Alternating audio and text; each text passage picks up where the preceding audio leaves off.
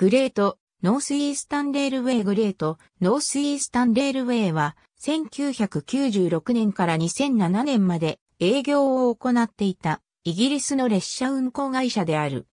イギリスの首都ロンドンキングスクロス駅とリーズ、ヨーク、ニューキャッスル、エディンバラ、グラスゴーなどとを結ぶ長距離路線等を運営していたが、フランチャイズ契約期間終了に伴い2007年12月8日で営業を終了し、その役割をナショナルエクスプレスイーストコーストへと引き継いだ。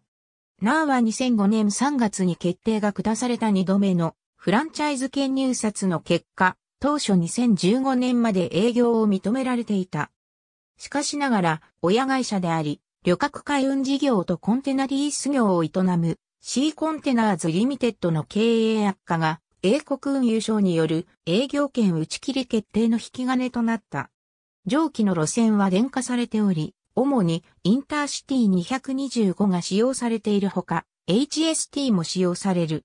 ロンドンリーズ間には、ユーロスター車両の373型電車も2005年まで使用されていたが、現在は車両リース会社に返却されている。エディンバラ以北やリーズ以遠、ハルへの非電化路線への列車は HST が使用される。